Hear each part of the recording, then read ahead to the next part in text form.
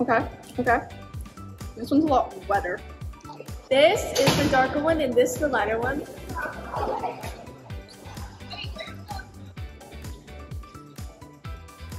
Pretty good. Also good.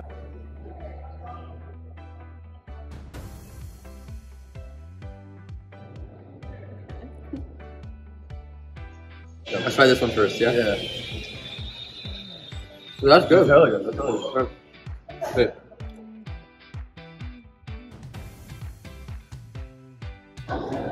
Is this one the store bought one? Because it tastes less gooey. This one's store bought. This one's homemade. This is the cake one? The box mix? The texture. The texture on top. It's a lot more um, I don't know, cake box. I don't know. I think that this one is homemade and this one is the box mix. This one is a little thicker and cakier, um, and versus this one tastes a little bit like more chocolatey, and it's a little like denser in a way that I think a homemade brownie would be compared to a box mix.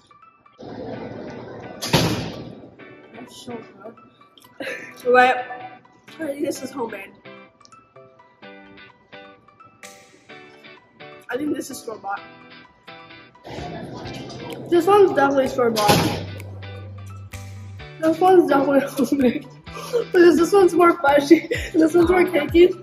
I feel like all like store bought. Because when I make store bought, it's like more like. It has like a certain taste since they use like vegetable oil instead. I don't know. The first one was store bought. First one is store bought. I think this one is store bought. Me too. Because it was like thicker. Yeah, it was thicker. And like the chocolate was like less chocolatey almost. Yeah.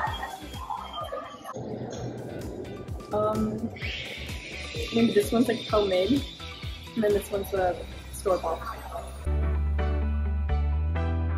I think that this one's homemade and this one's store bought because this one's more like gooey and like melted more, and this one's just like I like kind of tastes like it's in a box. Yeah. I like the homemade or the whatever this one is. Um, I think I don't know which one's store bought, but I like this one a lot better. One of the best brownies I've ever had. This is definitely the homemade one. I haven't had the other one, but this is the homemade one.